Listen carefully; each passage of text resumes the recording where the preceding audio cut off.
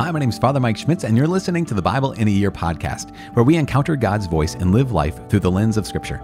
The Bible in a Year podcast is brought to you by Ascension. Using the Great Adventure Bible timeline, we'll read all the way from Genesis to Revelation, discovering how the story of salvation unfolds and how we fit into that story today. It is day 179. We're creeping up on that halfway mark, which is phenomenal. You guys, congratulations. We're reading today from 2 Kings chapters 11 and 12, from Amos chapters 4, 5, and 6, and we are praying Psalm 122. As always, the Bible translation that I'm reading from is the Revised Standard Version, the Second Catholic Edition. I'm using the Great Adventure Bible from Ascension. If you want to download your own Bible in a Year reading plan, you can visit ascensionpress.com slash Bible in a Year. And if you want to subscribe to this podcast, you can. Just click subscribe. If you don't, no problem.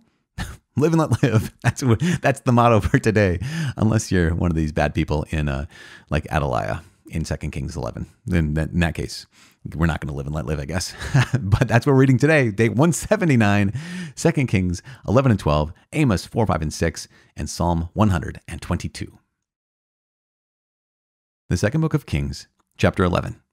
Athaliah reigns over Judah.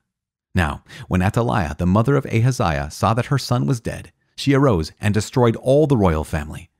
But Jehosheba, the daughter of King Joram, sister of Ahaziah, took Joash, the son of Ahaziah, and stole him away from among the king's sons who were about to be slain, and she put him and his nurse in a bedchamber. Thus she hid him from Athaliah, so that he was not slain, and he remained with her six years, hid in the house of the Lord, while Athaliah reigned over the land. Jehoiada anoints the child Joash. But in the seventh year, Jehoiada sent and brought the captains of the Carites and of the guards, and had them come to him in the house of the Lord. And he made a covenant with them, and put them under oath in the house of the Lord, and he showed them the king's son. And he commanded them, This is the thing that you shall do. One third of you, those who come off duty on the Sabbath and guard the king's house, another third being at the gate Sur, and a third at the gate behind the guards, shall guard the palace and the two divisions of you, which come on duty in force on the Sabbath, and guard the house of the Lord, shall surround the king, each with his weapons in his hand, and whoever approaches the ranks is to be slain. Be with the king when he goes out and when he comes in. The captains did according to all that Jehoiada the priest commanded, and each brought his men who were to go off duty on the Sabbath with those who were to come on duty on the Sabbath, and came to Jehoiada the priest.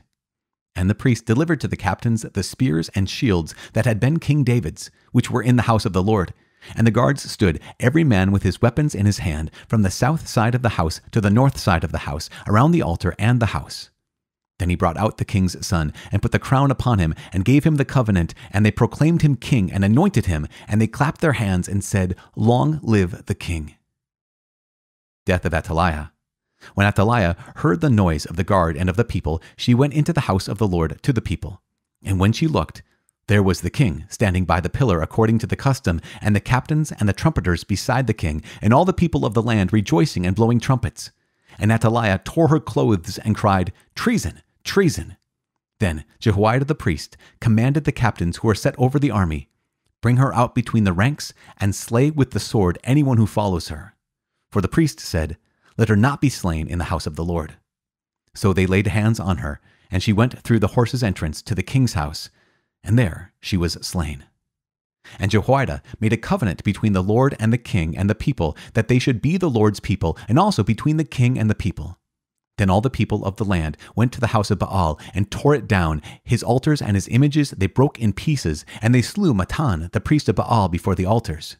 And the priest posted watchmen over the house of the Lord, and he took the captains, the Carites, the guards, and all the people of the land, and they brought the king down from the house of the Lord, marching through the gate of the guards to the king's house. And he took his seat on the throne of the kings. So all the people of the land rejoiced, and the city was quiet after Athaliah had been slain with the sword at the king's house. Reign of Jehoash and the repair of the temple. Jehoash was seven years old when he began to reign. Chapter 12 In the seventh year of Jehu, Jehoash began to reign, and he reigned forty years in Jerusalem. His mother's name was Zibiah of Beersheba. And Jehoash did what was right in the eyes of the Lord all his days, because Jehoiada the priest instructed him. Nevertheless, the high places were not taken away. The people continued to sacrifice and burn incense on the high places. Jehoash said to the priests, all the money of the holy things which is brought into the house of the Lord, the money for which each man is assessed, the money from the assessment of persons, and the money which a man's heart prompts him to bring into the house of the Lord, Let the priests take, each from his acquaintance, and let them repair the house wherever any need of repairs is discovered. But by the twenty third year of King Jehoash, the priests had made no repairs on the house. Therefore, King Jehoash summoned Jehoiada the priest and the other priests and said to them, Why are you not repairing the house? Now, therefore, take no more money from your acquaintances, but hand it over for the repair of the house. So the priests agreed that they should take no more money from the people, and that they should not repair the house. Then Jehoiada the priest took a chest, and bored a hole in the lid of it, and set it beside the altar on the right side as one entered the house of the Lord. And the priest who guarded the threshold put in it all the money that was brought into the house of the Lord. And whenever they saw that there was much money in the chest, the king's secretary and the high priest came up and they counted and tied up in bags the money that they found in the house of the Lord. Then they would give the money that was weighed out into the hands of the workmen who had the oversight of the house of the Lord. And they paid it out to the carpenters and the builders who worked upon the house of the Lord, and to the masons and the stonecutters, as well as to buy timber and quarried stone for making repairs on the house of the Lord, and for any outlay upon the repairs of the house. But there were not made for the house of the Lord basins of silver, snuffers, bowls, trumpets, or any vessels of gold or of silver from the money that was brought into the house of the Lord, for that was given to the workmen who were repairing the house of the Lord with it. And they did not ask an accounting from the men into whose hand they delivered the money to pay out to the workmen, for they dealt honestly. The money from the guilt offerings and the money from the sin offerings was not brought into the house of the Lord, it belonged to the priests. Hazael of Syria threatens Jerusalem. At that time, Hazael, king of Syria, went up and fought against Gath and took it. But when Hazael set his face to go up against Jerusalem, Jehoash, king of Judah, took all the votive gifts that Jehoshaphat and Joram and Ahaziah, his fathers, the kings of Judah, had dedicated, and his own votive gifts, and all the gold that was found in the treasuries of the house of the Lord and of the king's house, and sent these to Hazael, king of Syria. Then Hazael went away from Jerusalem death of Joash. Now, the rest of the acts of Joash, and all that he did, are they not written in the book of the Chronicles of the kings of Judah? His servants arose and made a conspiracy and slew Joash in the house of Millo on the way that goes down to Selah.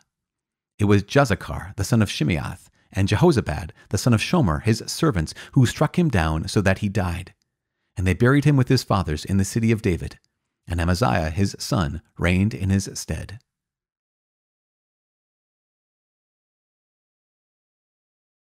The book of Amos, chapter 4 Punishments of Israel. Hear this word, you cows of Bashan, who are in the mountain of Samaria, who oppress the poor, who crush the needy, who say to their husbands, Bring, that we may drink. The Lord God has sworn by his holiness that, behold, the days are coming upon you, when they shall take you away with hooks, even the last of you with fish hooks. And you shall go out through the breaches, every one straight before her, and you shall be cast forth into Harmon, says the Lord. Come to Bethel and transgress. Come to Gilgal and multiply transgression. Bring your sacrifices every morning, your tithes every three days. Offer a sacrifice of thanksgiving of that which is leavened, and proclaim free will offerings. Publish them. For so you love to do, O people of Israel, says the Lord God. I gave you cleanness of teeth in all your cities, and lack of bread in all your places. Yet you did not return to me, says the Lord. And also, I withheld the rain from you when there were yet three months to the harvest. I would send rain upon one city and send no rain upon another city. One field would be rained upon, and the field on which it did not rain withered. So two or three cities wandered to one city to drink water, and were not satisfied. Yet you did not return to me, says the Lord. I struck you with blight and mildew. I laid waste your gardens and your vineyards, your fig trees and your olive trees the locust devoured. Yet you did not return to me, says the Lord. I sent among you a pestilence after the manner of Egypt. I slew your young men with the sword. I carried away your horses, and I made the stench of your camp go up into your nostrils. Yet you did not return to me, says the Lord. I overthrew some of you as when God overthrew Sodom and Gomorrah, and you were as a brand plucked out of the burning. Yet you did not return to me, says the Lord. Therefore, thus I will do to you, O Israel. Because I will do this to you, prepare to meet your God, O Israel. For behold, he who forms the mountains and creates the wind, and declares to man what is his thought, who makes the morning darkness and treads on the heights of the earth, the Lord, the God of hosts, is his name. Chapter 5 A lamentation for Israel's sins. Hear this word which I take up over you in lamentation, O house of Israel. Fallen, no more to rise is the virgin Israel, forsaken on her land, with none to raise her up. For thus says the Lord God The city that went forth a thousand shall have a hundred left, and that which went forth a hundred shall have ten left to the house of Israel.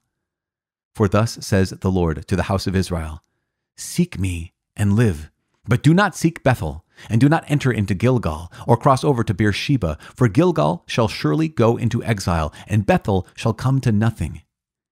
Seek the Lord and live lest he break out like fire in the house of Joseph and devour it, with none to quench it for Bethel. O you who turn justice to wormwood and cast down righteousness to the earth. He who made the Pleiades and Orion, and turns deep darkness into morning, and darkens the day into night, who calls for the waters of the sea and pours them out upon the surface of the earth. The Lord is his name, who makes destruction flash forth against the strong, so that destruction comes upon the fortress. They hate him who reproves in the gate, and they abhor him who speaks the truth. Therefore, because you trample upon the poor, and take from him exactions of wheat, you have built houses of hewn stone, but you shall not dwell in them. You have planted pleasant vineyards, but you shall not drink their wine. For I know how many are your transgressions, and how great are your sins. You who afflict the righteous, who take a bribe, and turn aside the needy in the gate. Therefore, he who is prudent will keep silent in such a time, for it is an evil time. Seek good and not evil, that you may live. And so the Lord, the God of hosts, will be with you, as you have said.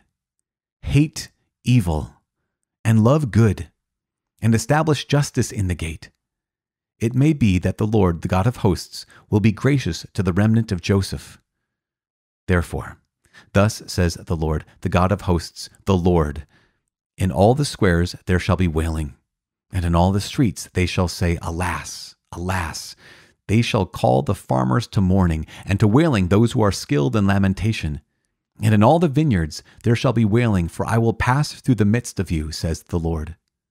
Woe to you who desire the day of the Lord! Why would you have the day of the Lord? It is darkness and not light, as if a man fled from a lion and a bear met him or went into the house and leaned with his hand upon the wall, and a serpent bit him? Is not the day of the Lord darkness and not light, and gloom with no brightness in it? I hate, I despise your feasts, and I take no delight in your solemn assemblies.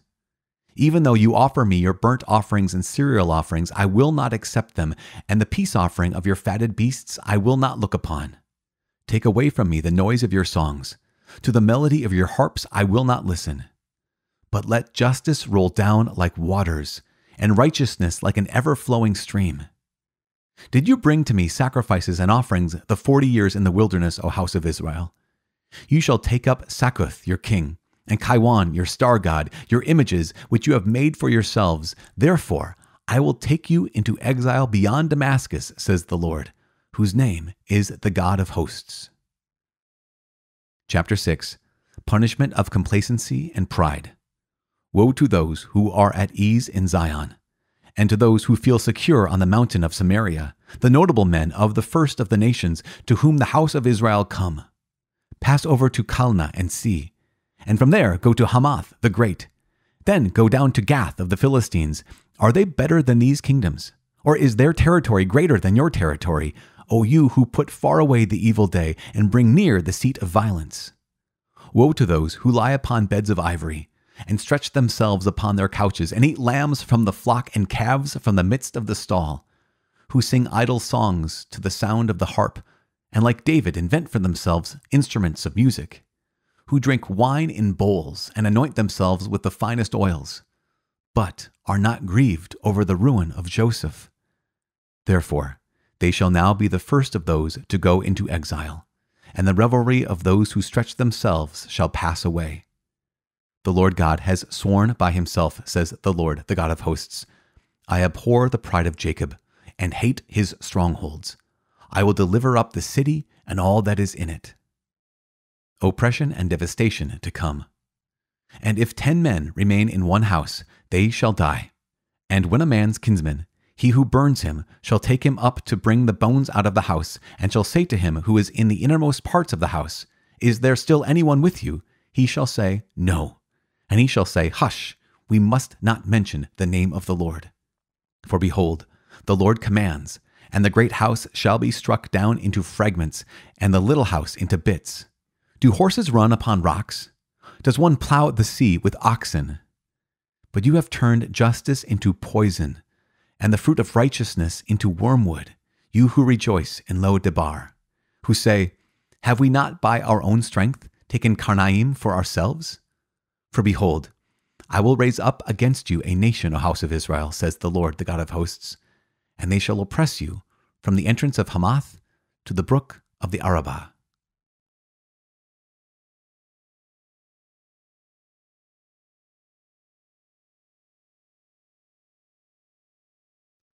Psalm 122, Song of Praise, and a Prayer for Jerusalem, a Song of Ascents of David. I was glad when they said to me, Let us go to the house of the Lord. Our feet have been standing within your gates, O Jerusalem. Jerusalem, built as a city which is bound firmly together, to which the tribes go up, the tribes of the Lord, as was decreed for Israel, to give thanks to the name of the Lord. There, thrones for judgment were set, the thrones of the house of David. Pray for the peace of Jerusalem. May they prosper who love you. Peace be within your walls and security within your towers. For my brethren and companions' sake, I will say, Peace be with you. For the sake of the house of the Lord our God, I will seek your good. Father in heaven, thank you. Thank you so much for thank you for your word. Thank you for revealing your heart to us. And please receive our praise. And this as we pray Psalm 122, we ask that you please receive this song of praise that we are glad when they said to us, Let's go to the house of the Lord. And yes, of course, we know that the temple, the house of the Lord in Jerusalem, no longer stands. And yet, Lord God, you have made all those who are baptized temples of your Holy Spirit. You've given us these churches. You've given you you continue to abide and dwell in tabernacles throughout the world. We ask you to please help us to always value your presence. Help us to always seek out your face and help us to always do your will in everything. In Jesus' name we pray. Amen. In the name of the Father and of the Son and Holy Spirit. Amen. So today was a little bit of review in 2 Kings chapter 11, 12. We have um, the story of Athaliah again. Wow, we cannot get rid of that gal. Actually, now we have. We've gotten rid of it. We're not going to hear from her anymore. We heard about her, of course, in Second Chronicles, and now we are in Second Kings. We have Athaliah reigning over Judah. She kills all of the descendants of Ahaziah, and uh, except for Jehoash. Now, interesting. You might say, wait, who's Jehoash? Because um, I'm not familiar with who Jehoash is. I'm familiar with a guy named Joash. And I would say, good call, you guys, because that's the same person. Um, Jehoash in Second Kings is the same person as Joash in Second Chronicles, and so um, same story. You probably picked up on that and maybe just thought I was reading it wrong. But in Second Kings, he is referred to as Jehoash, which is awesome. He was king when he was seven years old, since he was seven years old, and he was a decent king. Remember, he when he when he was guided by Jehoiada, that priest, he was on point and he was doing good things. And yet, when Jehoiada died, Jehoash did not continue the work that Jehoiada had started him on. Now, Jehoash did some great things, right? The king of Judah recognized that the temple of the Lord, the place of worship, uh, was falling into disrepair there were supposed to be tithes that would come to the priests and the priests like put that into action to specifically repair the temple that was how things were set up and yet it was not how things were working out uh, they got the money but they didn't do anything with the money so jehoash wisely. He made this whole system where people were giving. So this is the thing is the money was there. Like gifts were there. People were still giving but that money was not being used wisely. Those gifts were not being used as they were intended. And so jehoash saw that and made sure absolutely not that's good. This is going to end. We're going to actually rebuild the temple repair the temple wherever we need to do this. And so he did that. But where jehoash stopped is he didn't tear down uh, the, the high places, right? He didn't tear down those false places of worship. And because of that, he ends poorly. Remember this so many of God's people start well, and so many end poorly. And Jehoash is one of those. Recognize that uh, this could be any one of us. And so we just continue to pray and ask the Lord for his grace because here in the book of the prophet Amos, he is calling people higher. I mean, this is this is the role of the prophet, right? Prophets don't tell the future, although here Amos in chapter 6, 7, 8, in chapter 8, he is telling the future. He's saying this is what's going to happen. But what he's ultimately saying is here's what's happening. And this is what prophets do. They tell the truth of God to a people that need to hear the truth. And so, what's one of the things that we hear in both four, five, and six? I get so ahead of myself. I get so excited, you guys. You can't even imagine. But in even, in chapter four, Amos starts out, Hear this, you cows of Bashan, which is not a very nice thing to call the ladies of Bashan because that's who he's talking to. He says, These women here who oppress the poor, they crush the needy, they say to their husbands, Bring that we may drink.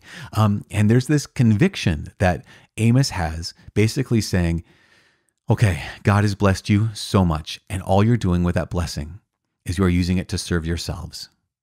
All you're doing with the blessings of God's gifts, again, remember going back to God's gifts, all you're doing with the blessings of God's gifts is kind of like those, those priests during the time of Jehoash, where you're not using it to build the temple. You're not using it to worship. You're not using it to help the poor. You're using it just to simply serve yourself. In fact, in the next chapter, chapter five, Amos points out, he says, I hate, in chapter 5, verse 21, says, I hate, I despise your feasts, and I take no delight in your solemn assemblies. Even though you offer me your burnt offerings and cereal offerings, I will not accept them. Why? Because you're not being just. You're, you're not t- taking care of righteousness. You're not taking care of the poor. And this is something so powerful. And this is true for every one of us is that, oh gosh, you know, we can eat. See, now keep in mind, in Israel, they were not worshiping God the way they were called to. And even then, God would, was saying essentially, maybe even then, if you're not even worshiping the way you're called to, but your heart's are in the right place and you're taking care of the people around you, then maybe then I would still accept them. But you're not even doing that. You're not even doing that. In fact, in chapter six, it just goes on and says, Woe to those who are at ease in Zion, to those who feel secure on Mount Sam- mountain of Samaria. And here's this next description that, you know, I read it, you, you heard it, maybe you read along with me. In chapter six, beginning with verse four, it says, Woe to you those who lie upon beds of ivory and stretch themselves upon their couches eat lambs from the flock, calves from the midst of the stall, who sing idle songs to the sound of the harp, and like David invent for themselves instruments of music, who drink wine in bowls and anoint themselves with the finest oils. But, you know, we get to the but in just a second. In this description, lie upon beds of ivory and stretch themselves upon their couches. Here is a, a people of comfort, right? To just uh, whatever uh, you know here here are many of us who live in like the temperature controlled world where it's a little too cool, I'll turn the heat up. It's a little too hot, I'll turn the cool on. Um, that if my bed's a little lumpy, then we get a new one. Uh, eat lambs from the flock, calf from the calves from the midst of the stall. Not just food. I'm taking the best food, right?